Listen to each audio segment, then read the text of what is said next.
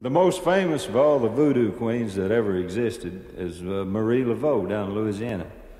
There's a lot of weird, ungodly tales about Marie. She's supposed to have a lot of magic potions and spells and curses. Down in Louisiana, where the black trees grow, lives a voodoo lady named Marie Laveau. She got a black cat tooth and a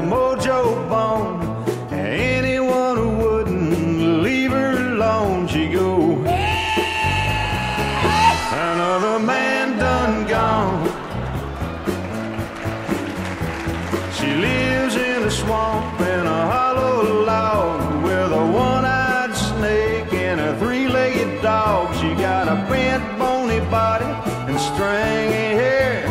And if she ever seen y'all messing around there, she go. I know the man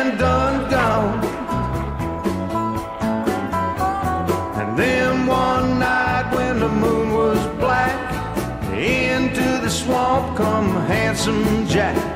A no good man like you all know when he was looking around for Marie Laveau. He said, Marie Laveau, you lovely witch, give me a little charm that'll make me rich. Uh, give me a million dollars and tell you what I'll do.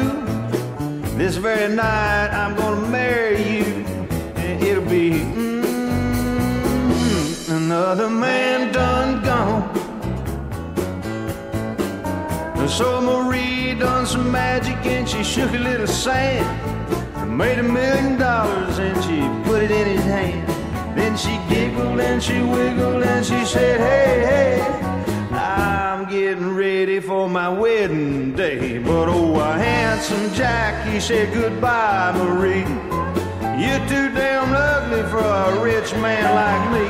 Then Marie started mumbling, her fangs started gnashing, her body started trembling, and her eyes started flashing, and she went.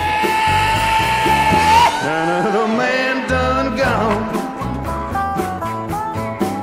Oh, if you ever get down where the black trees grow and meet a voodoo lady named Marie Laveau, if she ever asks you to make her your wife, man, you better stay with her for the rest of your life, or it'll be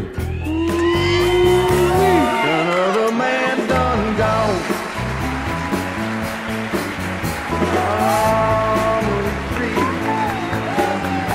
Show me that pretty white teeth.